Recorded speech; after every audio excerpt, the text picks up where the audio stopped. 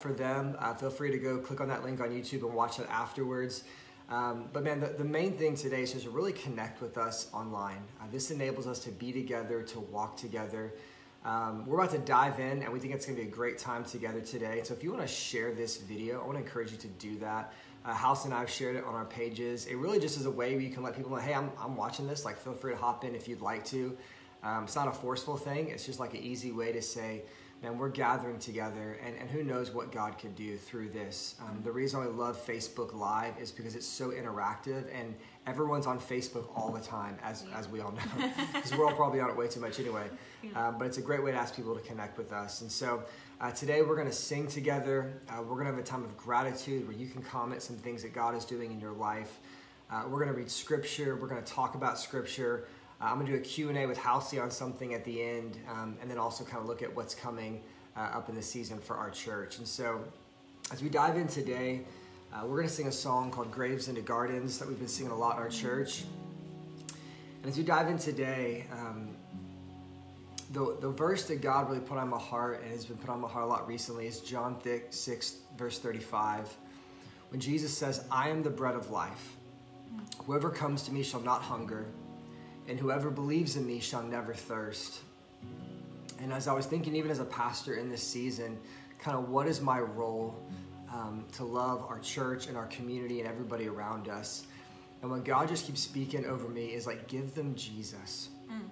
Give them Jesus. That we don't offer ourselves, um, that we don't offer, you know, my perfection or Halsey's perfection or our answers to everything, but wherever you're at today, man, if you will come to Jesus, whatever you need, whether it's something in your marriage, whether it's something in your personal life, whether it's something uh, maybe like a financial need, like Jesus says, I will provide for you.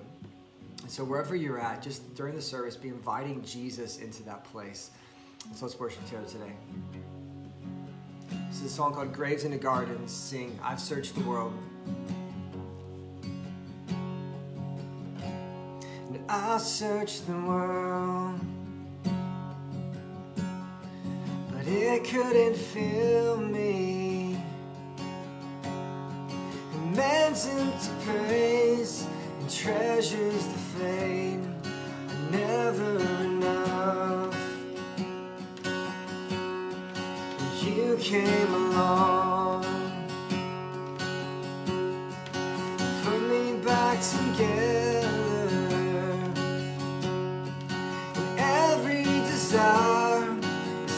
satisfied here in your love. Sing, oh, there's nothing better than you.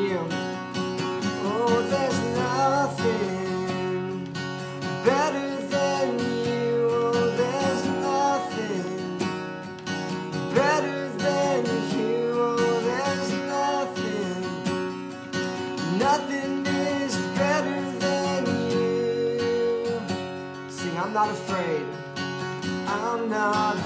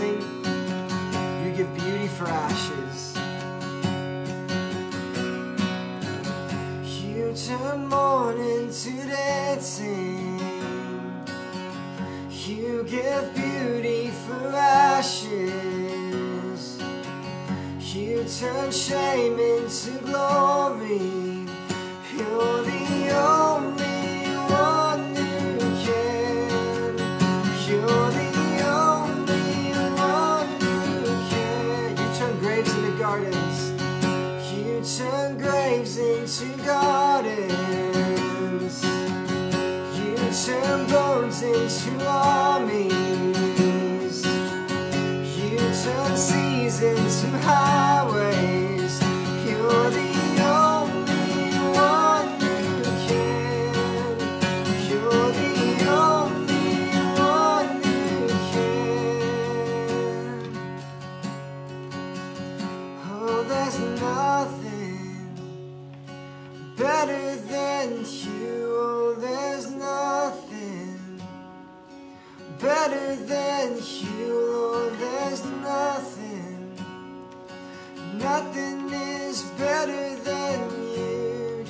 out to the Lord today. Declare your praise. Oh, there's nothing better. There's nothing better than you. Oh, there's nothing better than you. Oh, there's nothing. Nothing is better than you.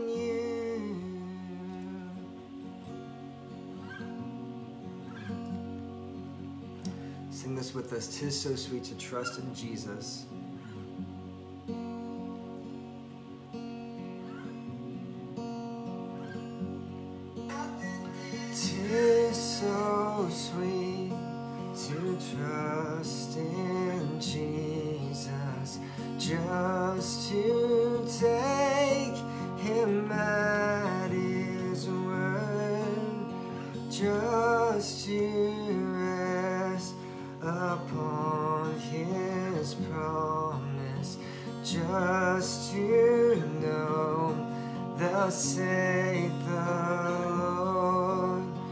Jesus, Jesus, how I trust him, how I've proved him more.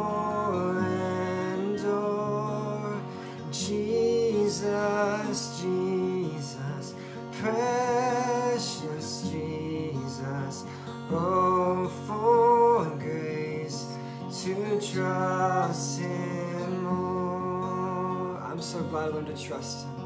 I'm so glad I learned to trust Him. Precious Jesus, Savior, friend, and I.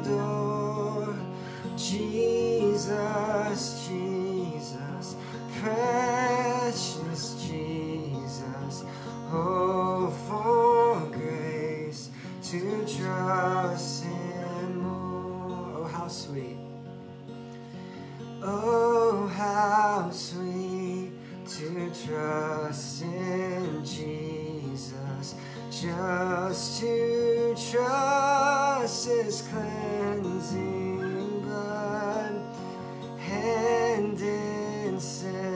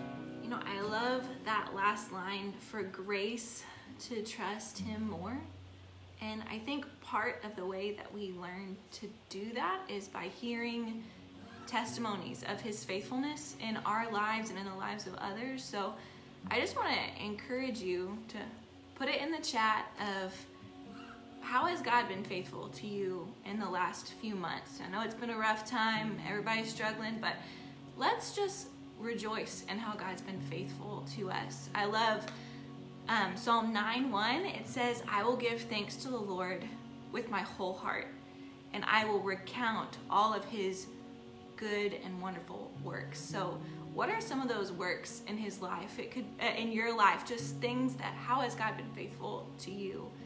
Um, it can be small, it can be big, it can be an answered prayer. Um, there's just so much. So I'd love to hear about those and just take some time to remember those publicly that Yeah. God has been faithful. And as you put those in the chat of the ways that God's been faithful and good to you the past few months, and a lot of everything going on, it just enables us to see those things as well and to rejoice with you. Yeah.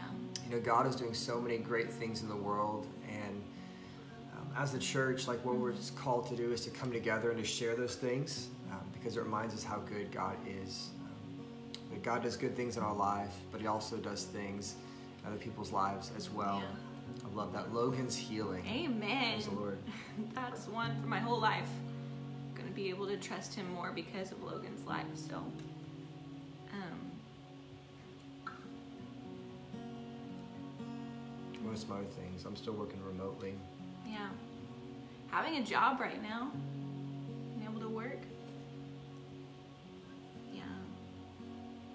Some of those out for us. Yeah, and more time with my family. Kaylee, I really enjoyed that too. It's been really nice.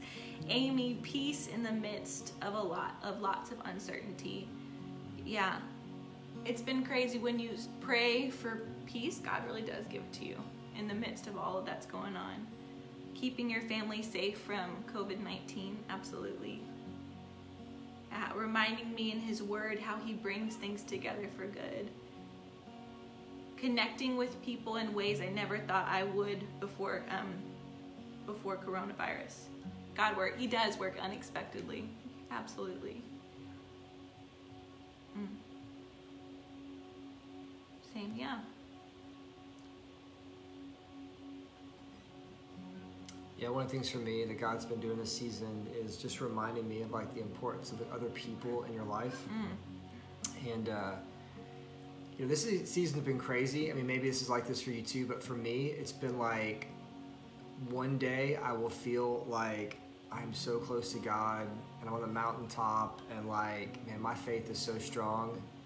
And like the next day, I will feel like just so weak and like, God, where are you? and some days I pray and I feel like the presence of God. And I'll be honest, some days I pray and I feel like I just am not connecting with the Lord. And one of the things that even God kind of was showing me last night as you were praying for me, Halsey, was just like, um, man, we need to get together and pray and share testimonies because Mm. like we can be strong for each other in this Yeah. season. And like all of us don't have to be strong all the time because we have each other. And so I've just been reminded of like in the moments maybe when I'm not feeling it, there are people around me in our community that are just thriving with God. And just being around those people, man, it's so uplifting to my faith. And it's so encouraging because I feel like I don't have to be like perfectly strong. And I'm just reminded that like, you know, what we offer this world is Jesus, that Jesus is the perfect one, you know? And mm-hmm. even me as a pastor, like I can not be feeling it sometimes, you know, and God can still be good mm-hmm. and do his thing and he's empowering people around me. And so it takes the mm-hmm. weight off when you feel like you don't have to save the world, you know? Yeah. And if you're a parent here right now, like you don't have to save your children. Like God is over your children. And if you're married and your marriage is tough because of all this, like the Holy Spirit is the one who heals. You are not the healer, you know. And if you're anxious right now and you need peace, like you don't have to like work yourself into peace because Jesus will bring our peace to us. And so just the ability to rest in that and to not always feel condemned because there's no condemnation for those in Christ. And so just thank you for the, uh, the testimonies. Surely I love that, giving us grace in the midst of everything that we go through. Yeah. When we go through it, if we fail, there's grace for that. Just right now, I want to speak a word over anyone that's feeling down right now in this season. I want to remind you that Jesus said that He will provide for you, and that includes peace. If you're not feeling it today, that's okay. Just sit here, just come rest with us in the grace of Jesus. If you're not feeling it, if your body's aching, if your mind is all over the place, just come and rest a while with us. Rest in the grace of Jesus because it is over you today. Yeah. Yeah, I was reminded that, you know, pandemics have a way of just kind of breeding gratitude if we let them, like being able to get food at the grocery store. I remember there was like a, it was hard, like it was scary. So just those little things in life, um, I think that those can kind of be highlighted sometimes. Um, I'm gonna go ahead and just say a prayer of gratitude. Um, Father, we, we thank you. Lord, we thank you for all of the good things in our lives. And Lord, we confess so often we get so focused on the negative things or the things that don't go the way that we want them to. But Lord, in this moment, as a group, as a church of people, um, as a community, we just say thank you. Thank you for our life. Thank you for your provision. Every day of our life, you have provided what we need, and we just thank you for that. Um, Lord, we thank you for the air in our lungs and just your um, your goodness to us. And Lord, we thank you for your grace, how you draw near to us, and you're ever present with us. And we just thank you for giving us this time to just remember that, to soak in that. We thank you for the testimonies. We thank you for healing and protection and provision, Lord. We love you and we pray these things in Jesus' name. Amen. All right, guys, so this time, if you have your Bible, I want to encourage you to grab that. And if you were lazy and came without your Bible and it's the other, other room, there is grace. And so go grab that Bible if you can. If you have a hard copy, I want to recommend that you um, get that. Um, there's just something about holding it in your hands. You can use the fake Bible on your phone, that's cool. Uh, no judgment, but um, man, I just like holding it in my hands in a way in which notifications like don't pop up on this thing in case you've noticed or whatever, or I'm not tempted to like you know hop on something else or whatever. um, and so I want to encourage you to grab your Bible at this time um, and turn me to Acts chapter two, verses 42 through 47. You know, one of the things that God also is just in speaking to me in this season, just the importance of us like really getting into the Word uh, together as a as a church and as a community and diving in uh, together. And so obviously the, the sermon today is going to be a lot shorter, and I don't even know if you can call it a sermon. I'm just going to share some thoughts from it. Um, but man, I just want us to be in the Word, open Bibles, open hearts to what God wants to speak to us today.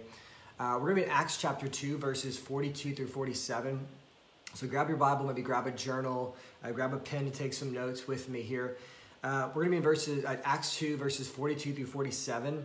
And uh, this passage is always vital to the church because it's a picture of what the early biblical church looked like. And so, like uh, Acts chapter 2, uh, 42 through 47. Um, it, it's an important passage because it's, it's a look at the early church and what it was intended to look like. Um, but I think that it is especially relevant for us in this season that we're currently in because um, I think sometimes when we read this passage right here, you've probably heard this before. Um, I think there's a temptation to uh, kind of maybe put like a, an Instagram filter on the book of Acts and it, it, kind of inspires us and it looks, all, you know, like when you have like a picture, but then you have like a filter on it, it looks like way better than it really looked, you know, which is ironic because like the fact that we're sharing something means why would we need a filter? We already wanted to share it. But anyway, it's a whole different story. Mm-hmm. Um, and we can read this passage and it's going to sound so beautiful and inspiring. And we will be tempted to think that, well, that's because they weren't going through a pandemic like we are, you know? Um, but in reality, the church is um, experiencing a lot of persecution in this moment. A little context is I mean, think about it. They have just crucified Jesus, uh, but then he rose from the grave and ascended into heaven, and he's, he's building his church now. The church is going out to share the gospel.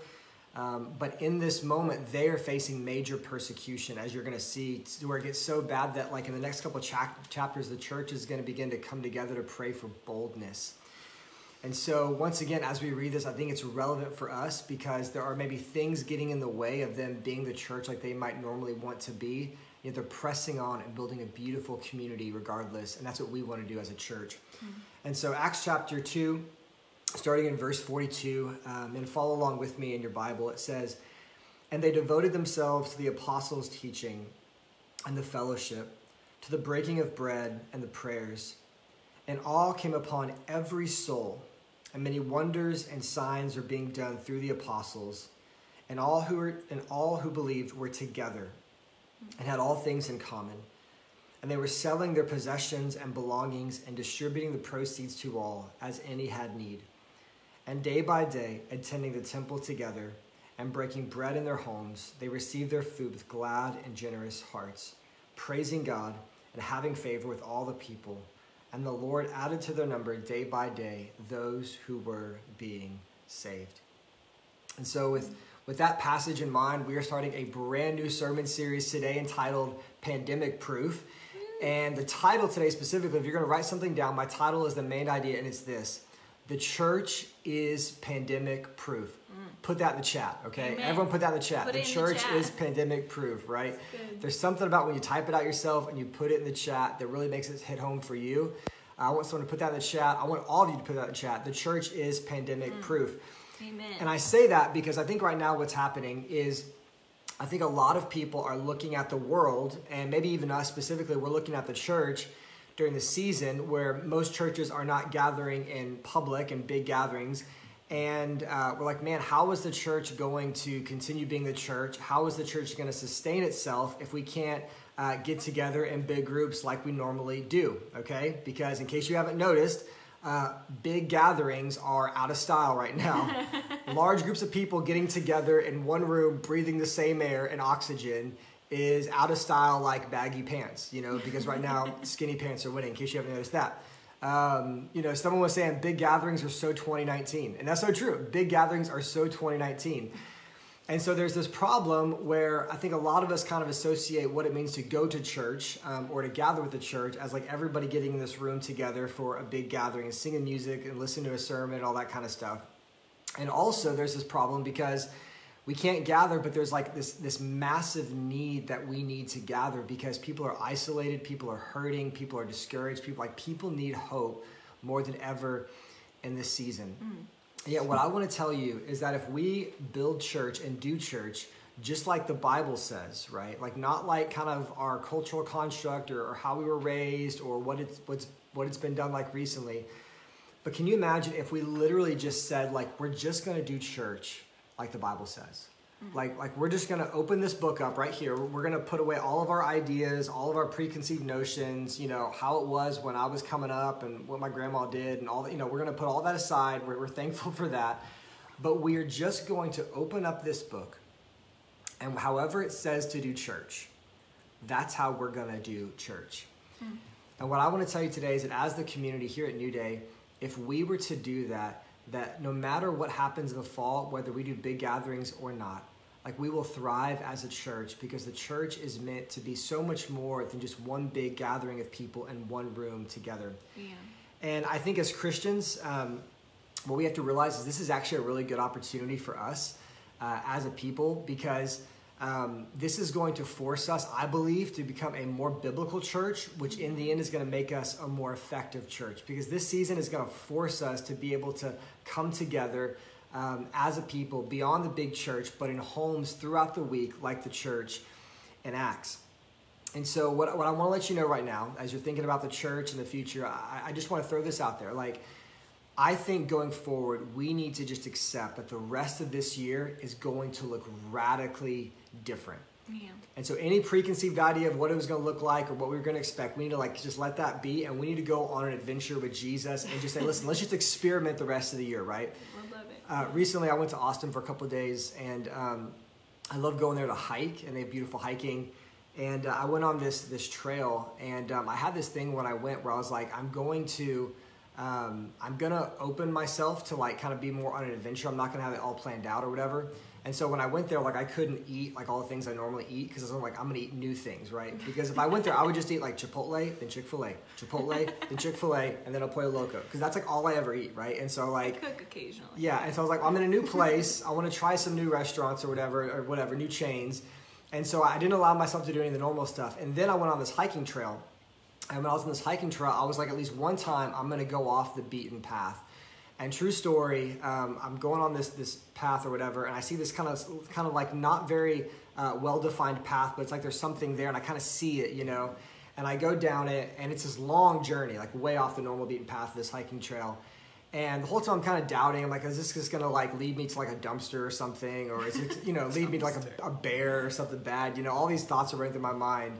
But true story, when I get to the end of it, there's this like beautiful like overlook of the Austin Hill Country, Mm. and it was like such a beautiful sight that I just literally sat down for like an hour, just enjoying this moment, and enjoying the beauty, and it just reminded me of like, man, when we are open to what God wants to do and God doing something new and different, we find so many beautiful things That what if God is wanting to do something new in our lives and in our church, and we're just missing it because we we're unwilling to step into the new. We're, we're unwilling to open the, our idea, our minds to the fact that God is something different for us. And so I think for us, uh, just as we look at this passage today, really briefly, I just want you to open your mind to what church could look like, and, and maybe God has something more beautiful and something better for us that, that maybe we've been missing. And maybe God is showing that to us during the season of COVID 19 because as Christians, we know God's always at work and God's always doing good. And so even when the world's like freaking out, like we are always suspicious of setbacks. You know, like we're always like, okay, well, well God, God's in this somewhere, right? And so I want to point out just three words here, really quick, as we go on an adventure this um, th- for the rest of this year as a church together. And I want to point out three words in this passage, and that, that's it. Really, the first word is in verse 42, the word devoted. If you're taking notes, write that down. And then in verse 44, I want you to highlight the word together. So, verse 44, the word together. And then lastly, in verse 47, um, the word added. And I want you to notice these words because, once again, this is like really the beginning of, of the early church and, and kind of how uh, God is kind of showing us what the church is supposed to look like to, to be uh, faithful and fruitful in the world. And what you notice in verse 42 is it says, and they were and they devoted themselves to the apostles' teaching and the fellowship, to the breaking of bread and prayers. And I love that word devoted because I think it, it- it's a really good um, image, but sometimes we don't understand exactly what the Bible means when it says that. I think in our world, when we hear the word devoted, we think um, like, you know, like someone who's like obsessed with something or really zealous, you know, like, you know, girls at like a, like a One Direction concert or Backstreet Boys or New Kids on the Yeah. Block, whatever your generation is, you know, devoted, whatever was the but- boy band, if you're, it's like the same thing over and over again. It's like a, like a generational thing. Um, but that's not like devoted. That's like that's crazy. That's a totally different thing, you know. um, but the word devoted, it doesn't. It's not meant to mean um, like like crazy or obsessive. Uh, the word devoted in the original language, it means to continue in. And so what what the author Luke is saying when he wrote that they were devoted is he's saying they were continuing in the ways of God, um, even beyond the normal gathering. What is so profound about the early church and what was so unique about them was they carried their faith beyond the temple. And that was shocking. Uh, just like today but in that day like like religion and religious practice was very formal. Um, it was very structured um, and that can be good because we see even here the church still gathers at the temple We're, we don't do away with the big gathering but we're, we're always um, adding on to that this idea that we're gathering in the homes beyond the normal church gathering. And so the word devoted means they were continuing in. So they would be at the temple and they would be seeing people and they would be hearing the, the teaching of the word and they'd be praying. But then because they were devoted, they carried it over into the home. And so they devoted themselves to the apostles' teaching, the fellowship, to the breaking of bread. So like like when you go to a football game, right? And there's a bunch of people there, which no one's doing that either right now. Everyone meets at the same place for this game, and it's a lot of fun, and it's this you know energizing environment. But then when everyone's done, they get in their cars, they leave, and they go live separate lives, right? But the church is different. We're not just a big gathering in that sense. We come together, but whenever we leave, we're still devoted to one another by meeting in homes throughout the week. And so whenever we start a new day, uh, man, one of our core values, and you hear about it all the time, is real family. We say that all the time. Real. We want to be a church that feels like real family. Yeah. And I like that word real because I feel like it holds other words accountable. You know, like if I asked you how many friends you have, you'd probably say, you know, so many. But then if I said, how many real friends do you have? Right? It's like, oh, that's a smaller number. It's like, well, what is a friend actually? You know. and and that was kind of our hope as a church where it's like we want not don't just want to say that we're family but we want to be a real family. Like we're on a journey to see what would it look like if people came in and said man there are people in this church who are doing life together life on life beyond just the sunday service. Man what would that look like? Right? And so it's like we're on this journey but now god's like okay prove it right? You can't get in the big gathering right? So this is the moment we're going on an adventure to see what that would look like but the way that they were devoted was it meant that they were about the things of Jesus and loving each other beyond the Sunday gathering. Yeah. But then moving on, it says in verse 44, they were together. They were together. And then in verse 44, it says, um, they were together and they had all things in common. And I love that so much because one of the things I've been really thinking about in this season um, and I think it's a good thing to think about is I think sometimes like I mean it, listen it's good to donate money online and it is good to um, you know give to food drives. All those things are wonderful and as Christians we should always be about those things. But sometimes I wonder if maybe the reason why we do those things is because we don't know real people in real life and real needs. And we have this sense that we want to help we want to make a difference right? But maybe we're not connected enough to people in a really real deep intimate sense to really know where they're at in life and like what they're going through. Mm-hmm. And as the people of God and, and as the church, um, man, we are just called and compelled to do life with fellow believers in such a way that we get beyond all the normal, um, all the small talk, and we really get to the core of like, man, where are you at with God? And how are you doing personally? And how can I help? Yeah. I mean, can you imagine if every, listen, if every single person in the world would just do what the Bible says, like every every person would have probably 10 to 12 people in their life that loved them that cared for them that were encouraging them and building them up during this time Yeah. like nobody would be alone if we would just listen to what god's word says and live life in community like like nobody would be alone but we're so tempted to, to isolate ourselves Mm. and what i think is unique in this season is i think if, if this season has shown us one thing it's that listen the internet is not the future of the church okay? Like facebook like, like this is awesome. I'm glad we're doing this right? But like it's not like yeah we don't need people. We're no everyone's like oh, oh okay i get it now. We need people. Yeah. and so like the power of of being together but i love how like whenever they came together they were meeting one another's needs. That we live in community because we want to meet mm-hmm. real needs. We want to we need people to care for us and we need people that we can care for.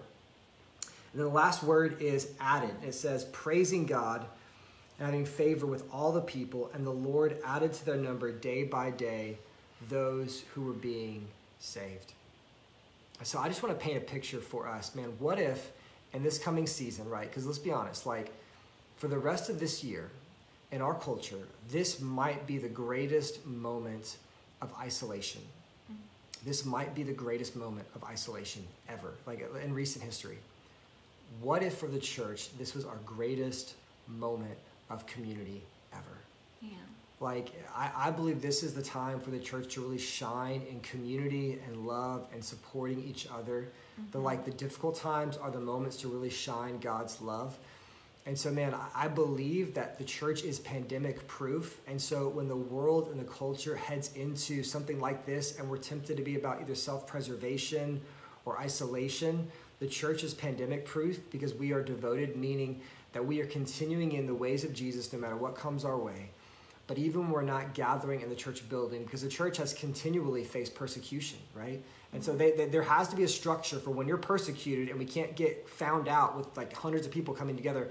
How do we worship? And what the Bible says is they continue on into it in the homes. Mm. And the reason why we do this is because, man, Jesus has revealed to us his heart and he was relational. We always forget Yeah. that. Jesus would literally recline at the table with people. He would eat food with people, he'd recline at the table, and he would hang out. And so, as we draw to a close, man, I- I really want to encourage all of us. Uh, we're going to talk about community groups here in a second. Um, man, I, I just really want every one of us to pray about living life in community. We have groups that we're starting to walk together called community groups in the fall, and they're always important. But right now, for our church moving forward, like those are the Extra. main ways. The main way that, that, that like our in-person experience, if we have one in the fall, is going to be in our community groups. Yeah. And so that's really important. And as we come to a close, I, I was just reminded this week, I was kind of reflecting on our, our journey as New Day. And it's crazy that we started New Day less than a year ago. And so we're still like this brand new thing, even though we're in these crazy times. And I was kind of, we, we've been going through like our pictures and stuff recently and kind of getting organized this weekend. Yeah. And I noticed, I, re, I was reminded of something interesting that in this past year, um, New Day was fortunate to be featured in both of the papers that most of us read, which is the, the Houston Chronicle and the Leader, that different stories have been done.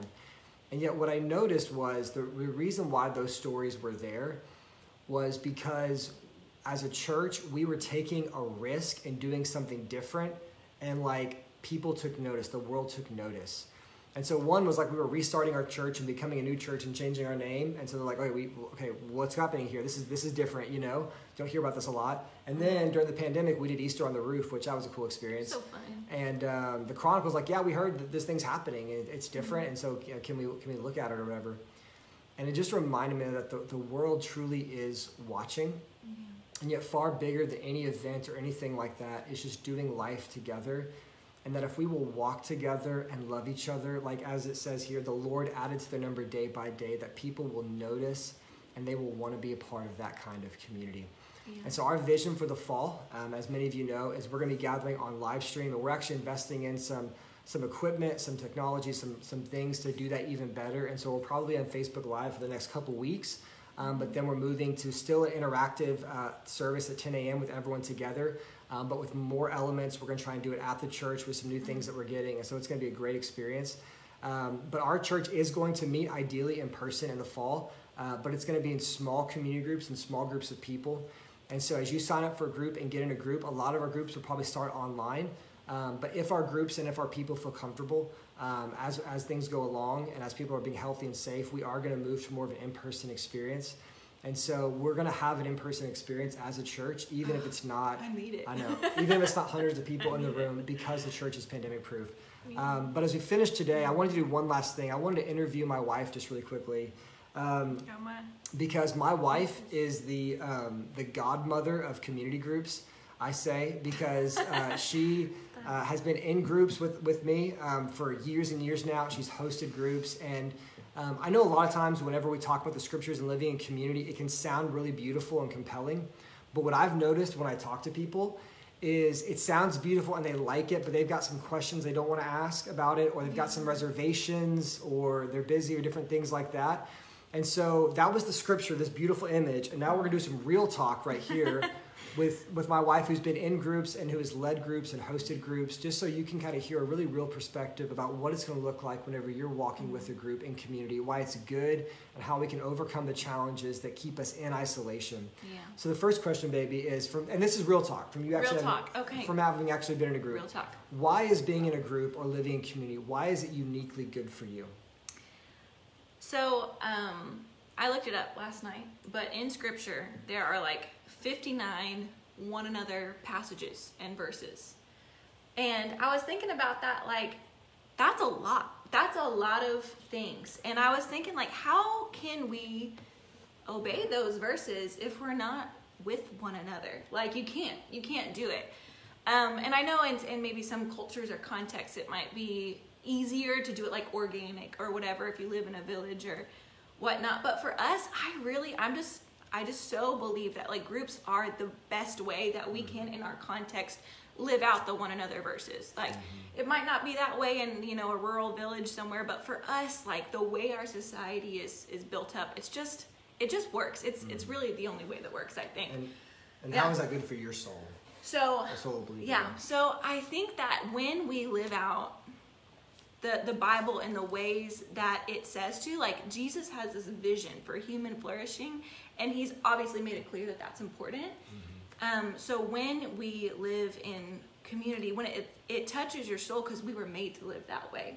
Like when you have someone praying for you, knowing you, when they can meet your needs, when you can meet theirs, like it's just it's just the way we were meant to live is with deep connections with with people um, in a small community. It's interesting too. Like more and more studies are showing is like mental health issues are are growing and stuff like that. Like more and more studies are showing like we need this. People mentally, spiritually, emotionally, psychologically, we're just meant for it. And Jesus has been telling us that for thousands of years. Like we need this. Yeah, one of the things I heard on online was um, someone was saying that what social media is doing is it is making us um, more connected to the people that are not close to us and far less connected to the people that are close to Yeah. us.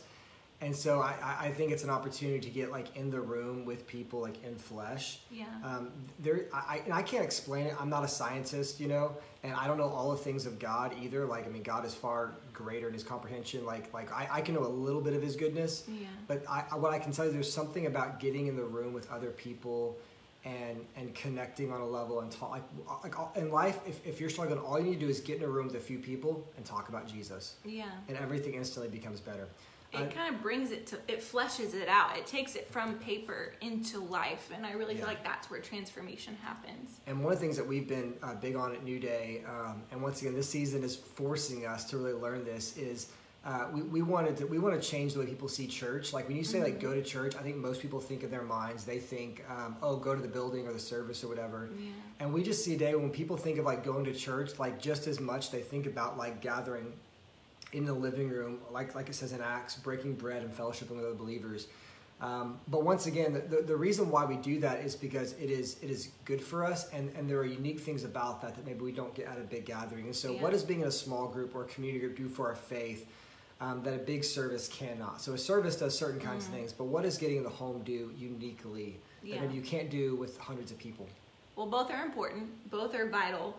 Um, when you're with someone face to face and we're eating spaghetti and you know you mention something, we can have a, a, a connection. Like ministry happens face to face. Yeah.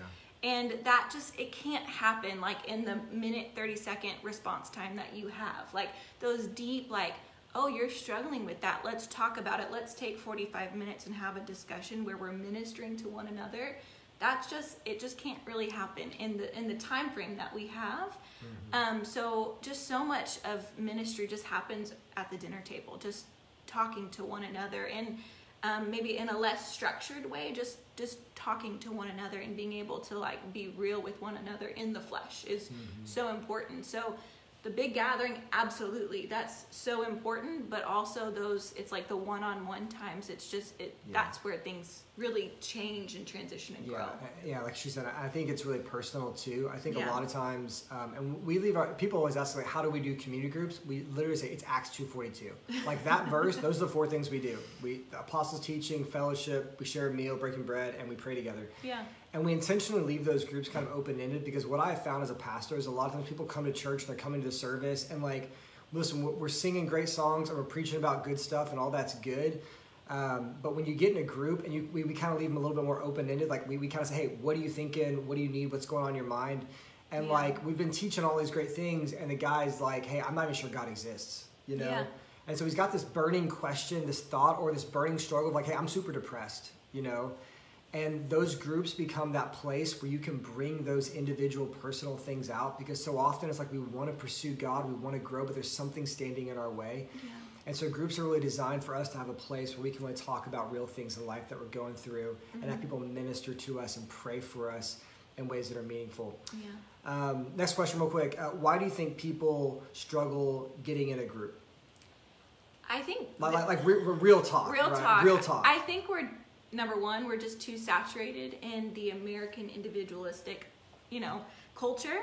Um, we really view our faith and our life as like it's our faith, and we'll go to this event. And I think the big gathering kind of enables people to do that. But I think when we grow in the faith and we kind of learn a little bit more about what Jesus is actually calling us into, He's calling us into a into a family. That's what Chris like Christian is a family name. It's not like a religion that I kind of agreed with. It's like Jesus is he was building this thing called the church, which is a family. So I think if we kind of shift our perspective from my life and what I'm doing, and I add a little bit of church on the side to give me a boost, um, but really if we understand like Christian is it's you're in a family now, and those things might should take precedence over other things that we might give it to. Um, and then another thing is maybe it seems a little weird, a little radical. Like to, if we're honest, it seems like the uber religious people do that, and I'm just gonna kind of watch because it's a little bit scary, you know? So, so, so, so, real quick. Yeah. Because, because I hear what you're saying, and, and so a lot of people are probably like, you know, like introverts. Yeah. Or, or have legit like like maybe some social anxiety. So listen, right now, if you comment in the chat if you're an introvert, or if like whenever you get like let's be honest, like whenever you're like maybe gonna go to a group or something, maybe it's big or small, you kind of get some social anxiety. Let, let- let me see you in the chat. Me. Let, let- me see if it's there for you, right? What would you say to that person? Maybe like maybe I'm, Yeah. I'm an introvert. Like listen, I know it's good. I know it's great to, to get together throughout the week. I want to carry on church beyond the building. I want to get in the home. I want to share a meal. I want to pray. But like I just get this I'm uneasiness, or I'm gonna say something awkward in the group when I get there. Okay, yeah, James. I think we all have this to a degree. Yes, Garrett Holmes. Garrett. Yeah.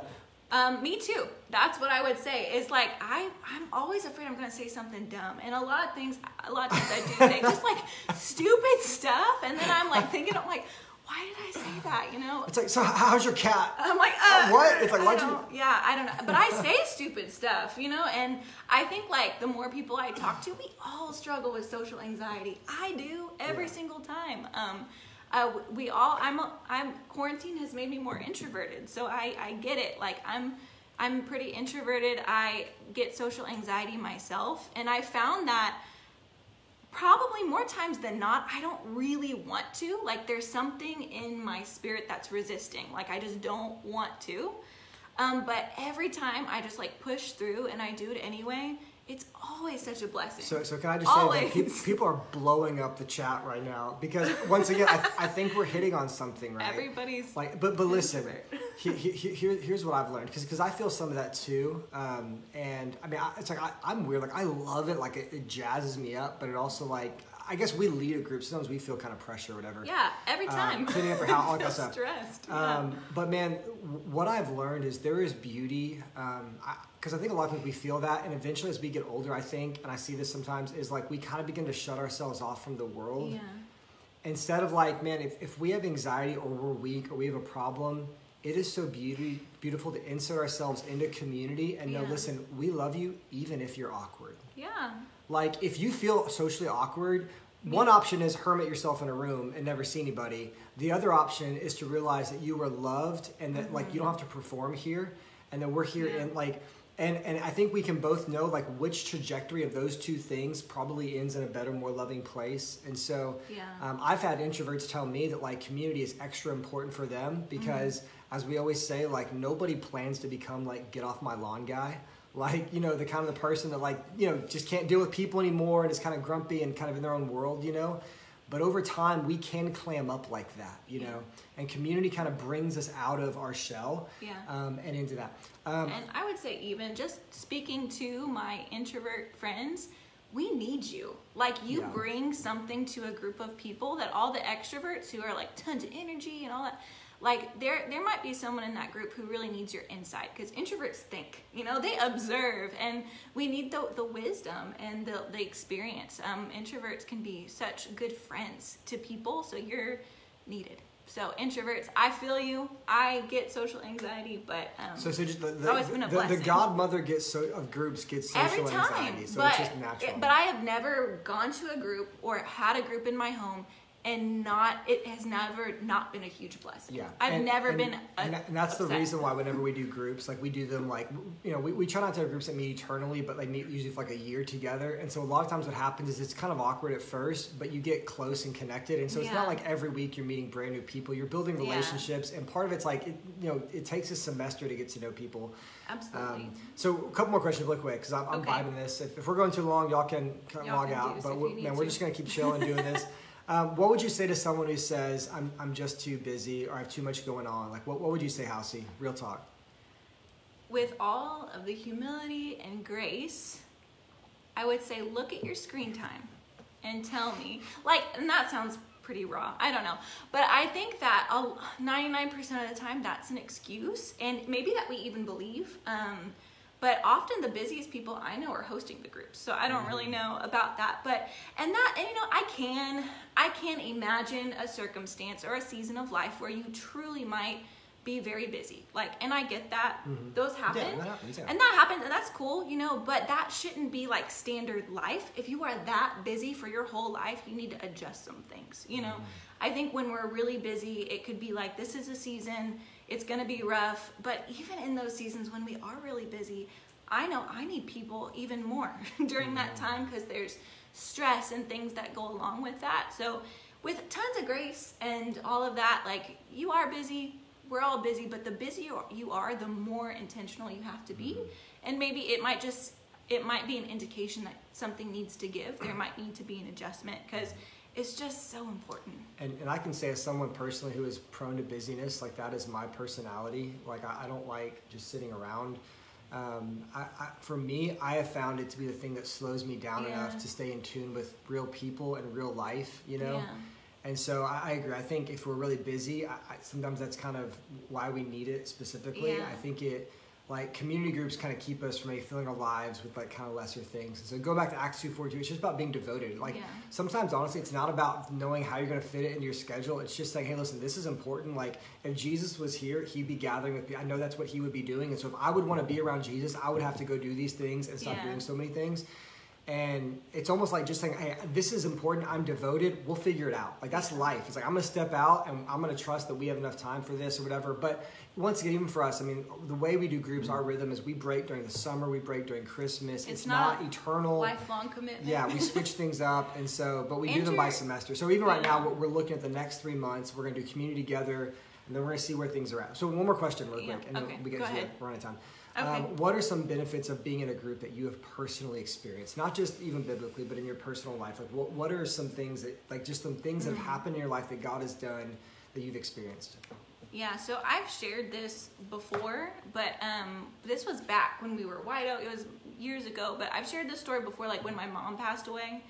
And that is really awkward. Like when someone, you know, it's an awkward sort of time. And I remember we went to a group for the first time after that. We we had people in our home, and it was just like the elephant in the room. And I was like a, you know, sobby mess. And I just remember the, the girls who were in that group they stopped and they just like cried with me for like 30 minutes and it hmm. and i can tell you like that and they like they went there you know it's so easy to be like oh i don't really want to talk about it but they went there they were committed because they had their their plate of spaghetti and i can tell you like it was like a balm to my soul like it healed me in like it, it was like healing for me in a way that I can't I can't express other than like I get why Jesus says to mourn with those who mourn. Like it was so good mm. and so healing for me. So that's like what always comes to mind is like why do we do these things?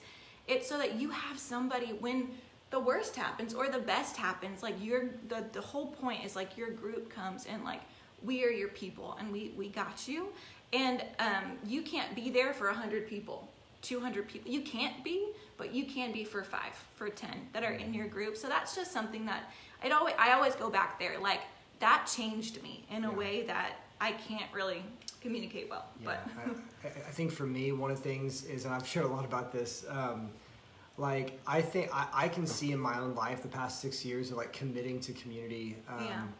It has kept my heart open in a way um, that I don't think it would be otherwise. Um, I think I don't know about guys, man. We we just have a tendency to like just get like angry at the world and like frustrated and like anyone that sees different than us, we can't get along with them and like. I think for me, especially as a man, you know, growing up or getting older, I, it's just kept my heart really soft in a way that I feel like has also benefited our family, Yeah. benefited our kids. our kids love it too Yeah, our, our kids come, yeah. But but for me, Yeah. it's just one of those things. It, it keeps it real for me, and like talking to other men. I mean, we have groups. We'll be like on my back deck talking about life. I would never do that otherwise, Yeah. right? And so like the, the the extent of my relationship with other men would be like on Facebook when I comment on their posts, you know, um, or I would just build my life around like two people that I actually like, you know. And so I just think it keeps your heart soft. And when I see Jesus, he was it's like he was reclining with like tax collectors and sinners and believers and the disciples. I mean, Mm. Jesus was just interacting relationally with people. I mean, how amazing that God was relational. Yeah, You know, that's he was amazing. always going to a meal, With coming from yeah, a I mean, meal, or at a meal.